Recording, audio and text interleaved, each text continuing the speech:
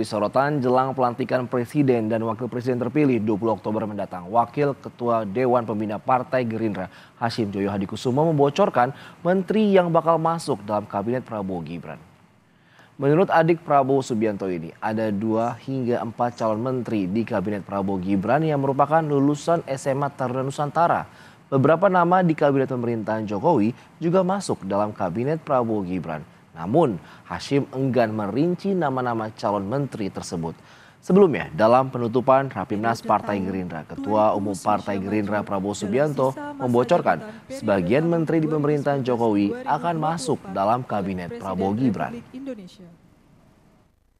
Kabinet Prabowo sekarang ini ada beberapa alumni SMA Turana Nusantara yang jadi menteri. Saya sudah hitung 2, 3, 4 mungkin lulusan SMA Taruna Nusantara bakal jadi menteri di, di kabinet yang baru ini. Dibentuk akan diumumkan. Saya sudah tahu banyak nama-nama yang masuk. Tapi saya janji tidak boleh